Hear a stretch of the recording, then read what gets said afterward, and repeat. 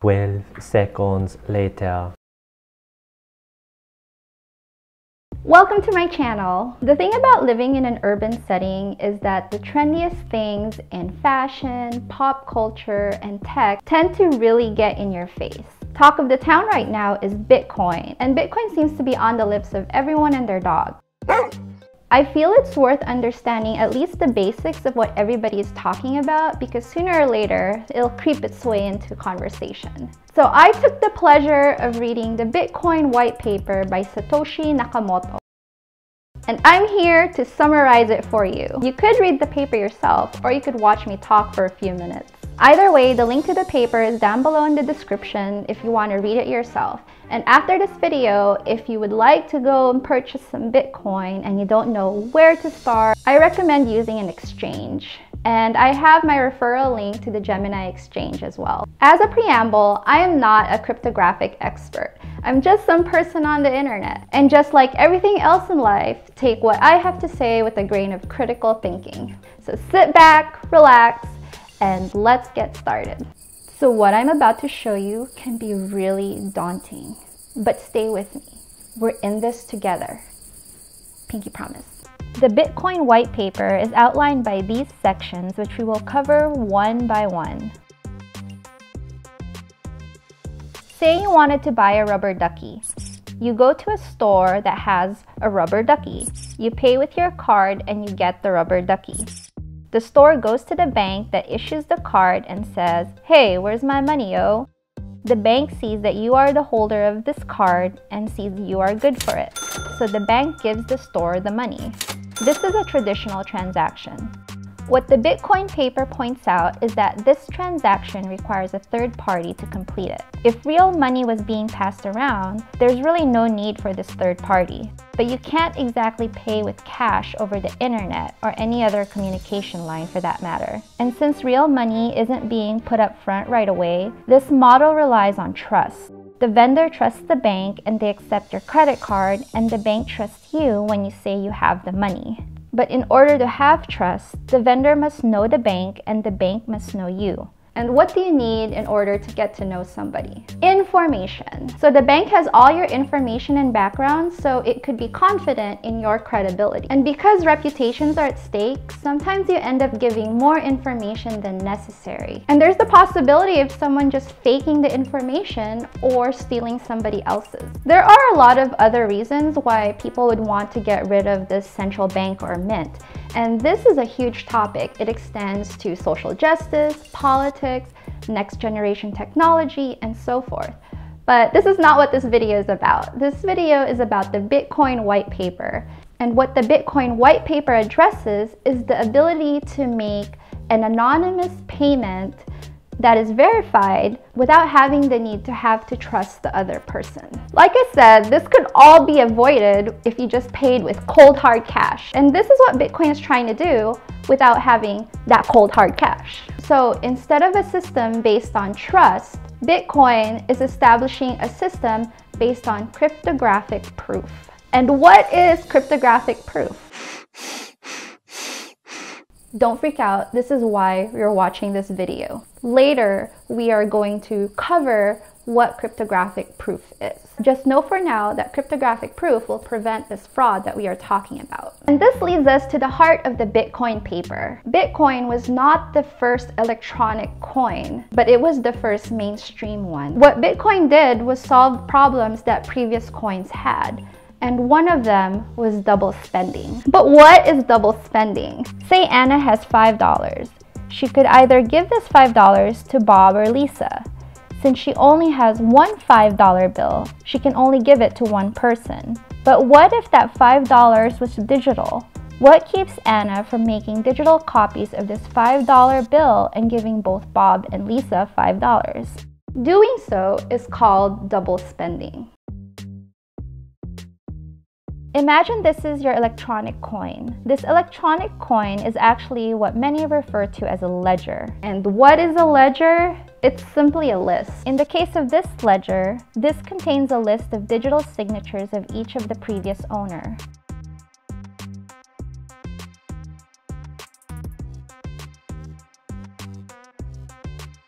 The problem with this is you can't really verify if any of these people didn't duplicate this list along the way and they double spent. If we go back to the original model with the bank or mint, it is the third party that does the verification. But the whole point of Bitcoin is to eliminate the third party. So there needs to be a way to know that all the other previous owners did not make another transaction. In the Bitcoin network, the earliest transaction is considered the legitimate transaction. So logically, to figure out which is the earliest transaction, you would have to know all the transactions. If there was a third party like a mint or a bank, they can keep track of all transactions and declare which one was the first. But again, we want to get rid of the third party. So to do this, all transactions have to be publicly announced and everyone has to agree which transaction is the real one. So two questions here. One, who is everybody? And two, how would they know which transaction came first? Let's start with the latter, proving which transaction came first. This is solved with a timestamp server, where each transaction is timestamped. Of course, it's a little more complicated than this because this involves layers of encryption and a certain digital engraving of the timestamp within the ledger. But the general idea is we're putting a timestamp in each transaction of this ledger. So a coin is used for this rubber ducky. This coin has been digitally signed, stamped, and broadcast out into the world. Now the question is, how can we prove that this is the one and only transaction and this coin has not been duplicated? To understand that this ledger is the legitimate one, we need to understand what a hash is. Now, the Bitcoin white paper did not define what a hash is because it was first published to a community that already knew what hashes are. And so for your benefit, I am going to try to explain what a hash is. No, it's not that thing you have for breakfast, but we can imagine it's baked bread. In order to make bread, you need an oven. You put the ingredients together, put it in the oven, and out comes the bread. The ingredients are the items in your ledger, and the oven is a cryptographic function, and the bread is the hash. And just like bread can't go back into being dough, a cryptographic function can't be reverse computed. It's very easy to come up with a hash, but impossible to start with a hash and come up with the ingredients. Also, any changes that you put into the oven or function changes the hash. So now you know what a hash is. So now we have all the signatures and timestamps in a hash. This is the hash that is supposed to be stored into the Bitcoin network. But the Bitcoin network has a condition. The hash has to begin with a certain number of zeros to be accepted. Even though this is the correct hash for this legitimate ledger, we can't submit it into the Bitcoin network because the hash has no zeros in front of it. So we have to add some arbitrary content in order for the hash to change. This arbitrary content is called global group. No, but if you're really curious, this arbitrary content is called a nonce. But how do we know what arbitrary content to add to the ingredients to make sure that the hash has a certain number of zeros in the front of it? Well, there's only one way to do it. It has to be guessed. That's right, you heard me. It's a big guessing game. You have to take the ledger, Throw in some arbitrary content and keep manipulating that until you come up with a hash that has the right amount of zeros needed to be accepted into the Bitcoin network. If you've ever heard of the term mining or crypto mining or mining for Bitcoin, this is what they're referring to. Because there's really no intelligent way around it. You just have to keep on guessing or keep on mining until you finally get that hash that you are looking for.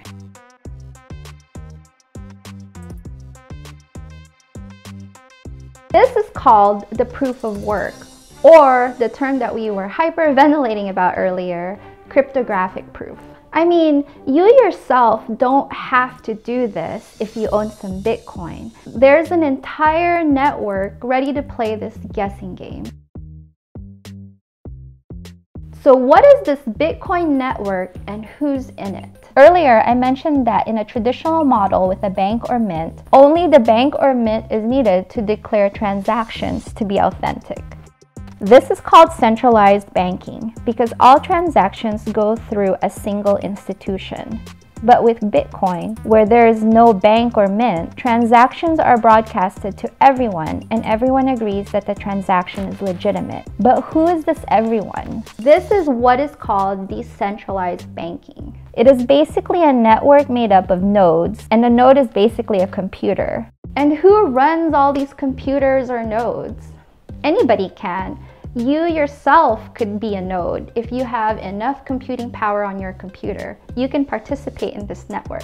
So let's start from the top. A transaction is made, it is broadcast to all the nodes. Each node tries very hard to find that specific bread recipe that will produce the right hash with the right amount of zeros in front of it. When a node finds that recipe that works, it will broadcast it to all the other nodes. All the other nodes will check it and if it is correct, all the other nodes will keep a copy of that transaction. Each node keeps a running list of all transactions, one attached to the other forming a chain. The paper goes on to talk about what if two versions are broadcasted. Both versions are saved until one ledger becomes longer. And this is where it becomes difficult to duplicate that digital $5 bill I was talking about earlier. Say that Anna did duplicate that digital $5 bill and spent it twice. Well, that ledger that has the second transaction, which is the fake one, would have to keep up with the first ledger. Since each transaction needs the difficult to bake hash, sooner or later that fake ledger won't be able to catch up. It actually takes a lot of computing power and electricity to come up with that hash that all the nodes are looking for. So why would anybody want to participate and be a node in this network to help verify transactions? New coins are created and awarded to the first node that can find that bread recipe. So when you are mining for that bread recipe, you are really mining for Bitcoin. But like I said, the process of mining Bitcoin takes up a lot of computing power and electricity. That's why not a lot of people do it. The first 50 Bitcoin was said to be created by Satoshi Nakamoto. Nobody really knows who Satoshi really is or if they are a real person. Some suggest that it could be a group of people. So the first 50 Bitcoins was created to get the network started. And if you look up the wallet of the first 50 Bitcoin, you'll see that it hasn't really been spent. Back when Bitcoin was created in 2009, the reward for figuring out that bread recipe was 50 Bitcoins. About every four years,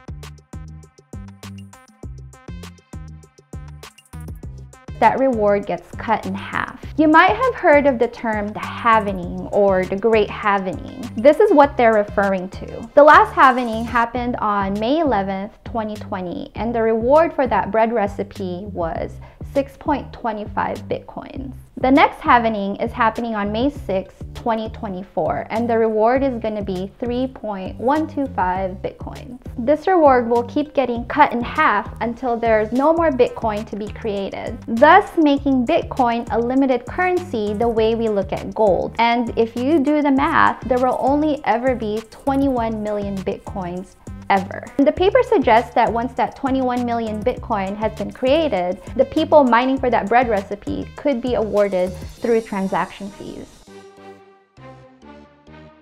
All this record keeping does take up a lot of hard drive space. This portion of the paper simply states how to keep file size down by indicating at what point parts of the chain could be deleted. I don't feel that we need to go over this too much in detail, just like the timestamp server. But that's the overall concept. And this portion of the paper just talks about a shortened way of doing transactions, where a transaction doesn't have to go through an entire ledger, but merely a branch of it. And this is called a Merkle branch. Again, this section has a lot of technical globbity gloop, but that's the general concept of it. It would be very cumbersome if every single cent was considered a transaction. So a transaction doesn't necessarily have to be one input or one payment. A transaction could look like either one single large payment, multiple small payments, or one payment and one changeback. In the traditional model, there's a certain level of privacy between seller and merchant because the central bank steps in and mediates between the two. When you buy that rubber ducky, the merchant doesn't need to know your social security number, your date of birth, mother's maiden name, favorite color, astrological sign. No, the bank holds all that information. The merchant just needs to know your credit card information. By using Bitcoin, all transactions are public. However, names are not attached to transactions. But if you tell people what your Bitcoin wallet is, they could easily look up transactions associated with that wallet. So if you bought antifungal foot cream with that Bitcoin wallet, well then your athlete's foot situation is no longer secret. So what keeps someone from just making up their own ledger and making Bitcoin out of thin air? This portion of the paper presents the calculation of how improbable it is for someone to actually keep up the charade in maintaining a fake ledger. To summarize it all, Bitcoin is an electronic payment system that does not rely on trust but on cryptographic proof and is protected against double spending. In closing, Bitcoin lately has been used more as an investment like stock rather than a currency. There are many other electronic currencies out in the market today. And on that note, I just wanted to point out that Bitcoin and Bitcoin Cash are two different things. And oh lordy, that's another topic for another day. If you want to purchase Bitcoin, I recommend using an exchange, and I use Gemini Exchange. My referral link is down in the description below. We'll both get $10 worth of Bitcoin if you invest $100. And if you have trouble setting up a Bitcoin wallet or purchasing Bitcoin, their customer service is very responsive and very helpful. If this video was useful to you, please consider sharing it with someone you know who's interested in Bitcoin or cryptocurrency in general. Don't forget to subscribe to my channel. Until next time, thank you so much for watching.